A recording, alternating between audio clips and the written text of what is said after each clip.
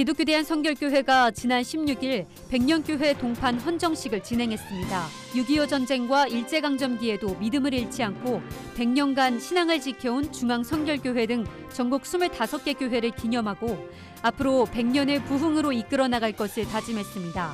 한계채 총회장은 이날 아현교회와 은산교회, 김천 남산교회 등 25개 교회에 현판을 전달했습니다.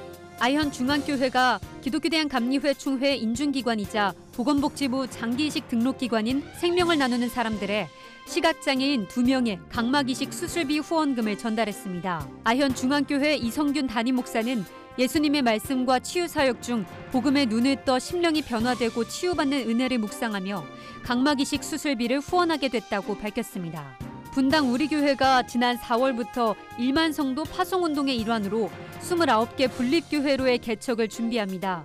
15명의 내부 부교역자와 14명의 외부 교역자들이 9개월간 29개 교구로 나뉘어 독립교회를 세워갈 준비를 하는 겁니다. 이찬수 담임 목사는 세워질 29개 교회가 가는 지역마다 인근 교회와 함께 상생하길 기도한다고 전했습니다. 미랄복지재단이 4월 20일 장애인의 날을 맞아 경제적 어려움으로 제때 치료받지 못하는 장애 영유아를 돕기 위한 캠페인 늦지 않게 지켜주세요를 진행합니다. 미래복지재단은 국내 0에서 6세 장애 영유아에게는 수술비와 치료비 등을 지원하며 해외 장애 영유아에게는 영양키트와 코로나 방역키트 등을 지원할 계획입니다. 구티비 뉴스 조유현입니다.